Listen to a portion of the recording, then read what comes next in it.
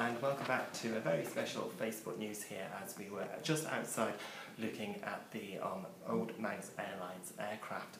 Now we are in the hub of a um, place here in Castletown which looks after all the engineering and going through all the history of the airlines. So I'm very, very excited to show you all now. I know Sharon Carouche and Kerry Geraghty will be very excited to see this because this is a flash from the past for you guys, girls. Because Sharon and Kerry used to be, obviously, air hostesses. And I'm now going to show you, which I'm really, really excited about, of all the uniforms. So come with me now and we are going to take a detour through the uniforms of what the cabin crew used to wear. So, as you can see, we're going to start from the very early ages of when Manx Airlines first was introduced here. And these, this one here obviously was the first um, airline uniform with its red bow round the cap there, and obviously the captain's um, jacket with the legs of man there.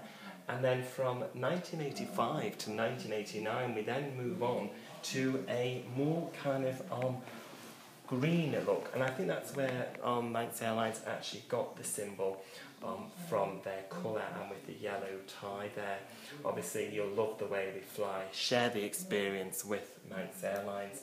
And as we go along here now, we obviously have the uniform from 1989 to 1991. Obviously, we've got the jacket with the pinny, as when they used to be serving on board. And then obviously, we've got the full uniform here, which they used to wear when they used to be doing their safety briefing and welcoming the people with the black hat, of course. Obviously, look at the memorabilia as well. I mean, we've got a Manx Airlines flag, a Manx Airlines umbrella, and then we've also got a few pictures of the Manx Airlines planes as well. Now, as we come on to the modern day, from 1991 to 2002, Kerry and Sharon, this was the uniform which obviously you girls used to wear. You could see now that they are coming more up to date with the Manx symbol, in with the green scarf, showing the three legs of man. And as I said previously in our broadcasting, it was a very Manx to Manx um, airline, and obviously with the emerald green um, hat as well. And also the ladies used to wear a big long jacket here, obviously when it used to be cold and in the winter. So it's very, very, um, a whole past of present uniforms which all the ladies used to wear here on, um, through the ages of Manx Airlines, a very traditional um, Manx um, company. So now we're going to come along to another part which I find very exciting. One of the actual cabin trolleys which the girls used to use. Now this is very, very heavy to push and it's not so easy to um, pull and it's not so easy to actually pull if you were on a flight.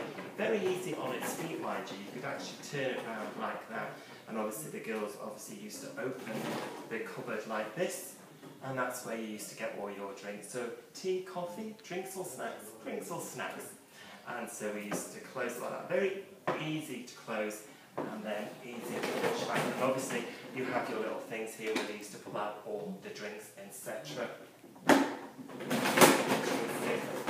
Very, very easy. Well, thank you for joining me here at a most memorable place here, celebrating Manx Airlines. So, um, for you and for Kerry and Sharon, I really do hope that you have enjoyed this experience through the ages of Manx Airlines. So, come with us tomorrow for Wish You Were Here to another part of the island. So, as for me from the Manx Airlines Museum, it's a very good afternoon.